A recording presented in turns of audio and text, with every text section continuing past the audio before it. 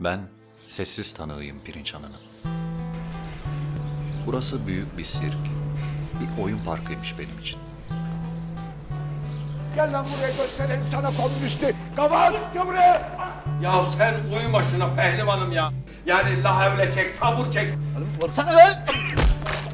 Her şeyi ama her şeyi kaydediyormuşum bilmeden. Müşteri kasanın arkasına lale istiyor. Helalesi dedim. Ne dedim? Ben kim miyim?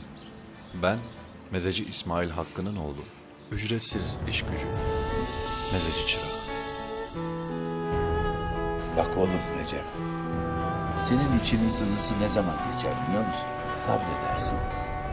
İşinin başına dönersin. Bir bakarsın karşına biri çıkar. Olur olmadı geldi düşüp bir yerine kıracak diye aklım çıkıyor vallahi. Sabır sabır. Nereye kadar sabır?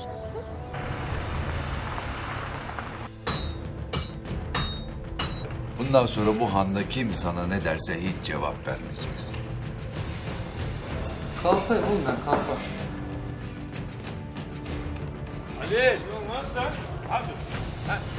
Asıl sana yazıklar olsun lan. Sana yazıklar olsun. Delikanlı halin. Hanım harbi çocuğu halin.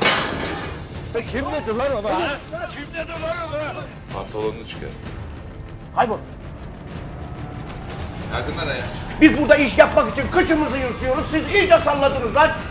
Sanki lan. Beni büyü yapmış abi. Hani sen bana söz vermiştin lan. Nedir lan sizin paylaşamadığınız?